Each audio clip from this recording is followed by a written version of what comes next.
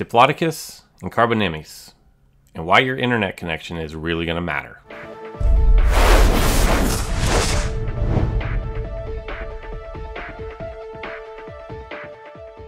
Hello and welcome back to another installment of Pokefodder and today we are going to talk about a head-to-head -head battle between Carbonemys and Diplodocus, Diplodocus. Let me know down in the comments below, how do you pronounce this one? This one, more than any of the previous matchups that I've done, is going to be based on more or less whose internet connection is faster. We're not here to debate what is a good way to settle speed ties. That doesn't matter because the way that it's settled is which one gets their move, their command, their attack registered to the system faster. That's all that matters. If you don't like it, that's what you have to work with. It's not going to change before this weekend, so you better be prepared for it as it stands now. And unlike the previous videos that I did of this style where we go head to head, dino versus dino, this one there are so, so many different plays that can happen, so many different variables that I can't even come close to showing every single thing that could possibly happen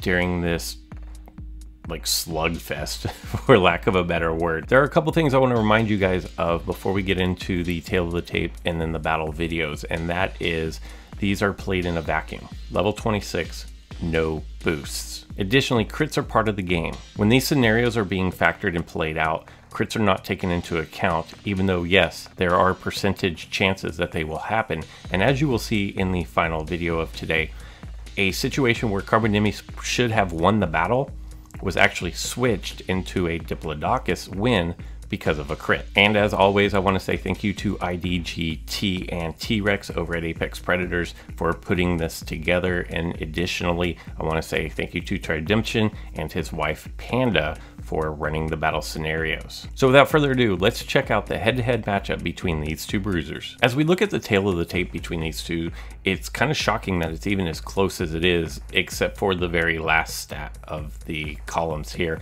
You will see that Diplodocus has almost 100% more health, 6,000 to 3540.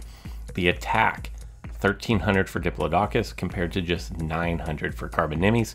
They both have speeds of 104 like we already talked about, and they both have 5% crit chances. The ultimate equalizer here for Carbonemys that makes it stand up to any of these big tanks and really speedsters alike is going to be the 60% armor. That's right, the highest armor percentage in the game. As I alluded to earlier, if you are the Carbonemys user and you know you have the faster Wi-Fi, this first scenario is going to be for you. You don't have to be faster on the first turn, but you have to be faster on the last turn. What you're gonna wanna do is open with superior vulnerability.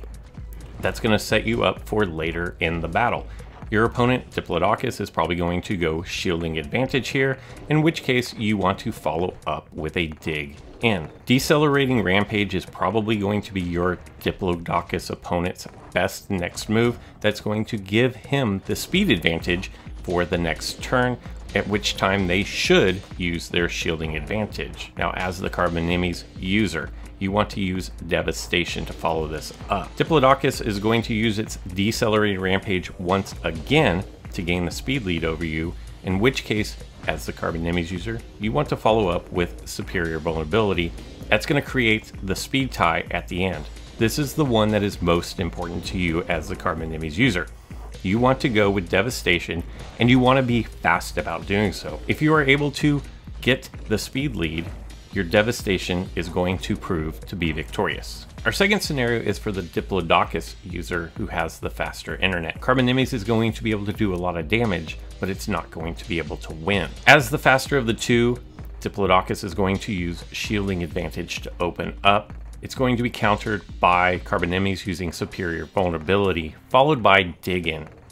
Now Diplodocus is going to reclaim the speed lead at this point with a decelerating rampage and then follow that up with a shield advantage. This is going to provide just a little bit of armor against the big hits from Carbonemys. Carbonemys at this point is going to follow with superior vulnerability, giving it back the speed lead and dropping a Devastation, which is a three times attack. Unfortunately, it's not going to be enough as Decelerating Rampage is going to be the next play from your Diplodocus user, followed by a Shield Advantage move that is going to secure the victory. And finally, the third situation is Carbonemys should win this if Diplodocus user goes with Decelerating Rampage on its first turn.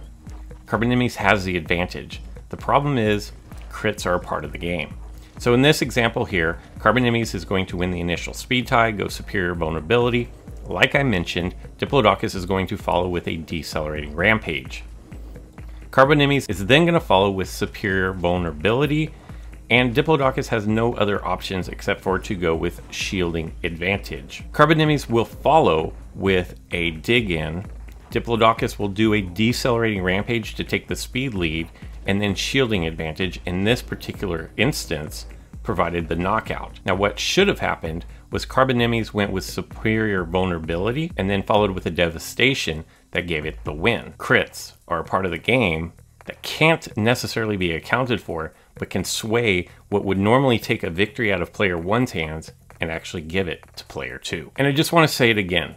This particular matchup has so many variables that it is impossible to list everything out. These are probably three of the most common scenarios that you will find yourself in this weekend when battling in the tournament. And if you know how they should play out, if you study these moves, write them down on a piece of paper, then you will know if I'm the faster of the two, here's what I should do. If I'm the slower of the two, then here's the move set that I should do to do the most damage before I get knocked out. But always keep in mind that you could get a lucky crit and take home a victory when you probably shouldn't. And if you want to see some live battles from this weekend's tournament, you can follow me on Twitch. There are links down in the description below.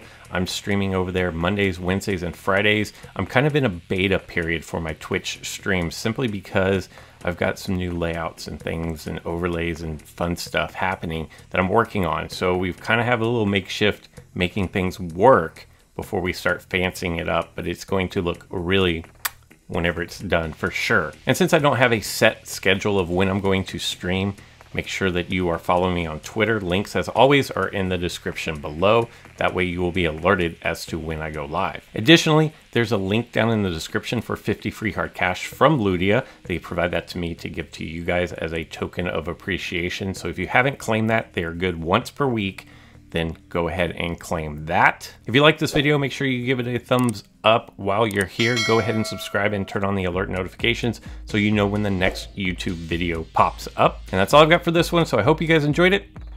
And until next time. And I have to amend something that I said in last week's video when I was talking about the upcoming tournaments. Actually, Epic Hybrids are not going to be part of the next two tournaments. So I misspoke there. So your Yoshi's not going to help you out. But that doesn't change the fact that Proceratosaurus is still the most obvious choice of what to go for, unless you're